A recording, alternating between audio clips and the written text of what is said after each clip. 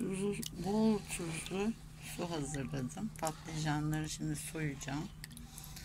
İçinde bekletip acı suyunu çıkaracağım.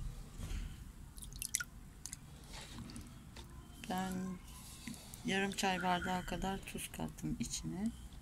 Patlıcanları alacalı soymuyorum. Çünkü kuruttuğum zaman kabukları çok sert oluyor. Kışında pişirdiğim zaman kayış gibi sert olan kabuklar yenmiyor. Ben bir posta kurutmuştum. Şimdi ikinci posta 2 kilo patlıcanım var. 2 kilo aldım. Balkonda soyuyorum şu an. Hepsini soyayım. Tekrar size gelişmeleri paylaşayım. Gördüğünüz gibi o kara suyu sudan çıkarıp patlıcanları sıktım. Temiz suya koydum. Şimdi tekrar sıkacağım.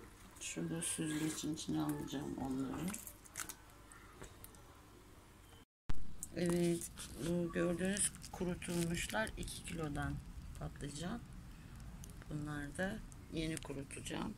2 kilo patlıcan. 2 kilo ne kadar çoktu. Kuruyunca çok az bir şey kalıyor. Bize de yeter. Sizlere kolay gelsin. İyi günler dilerim.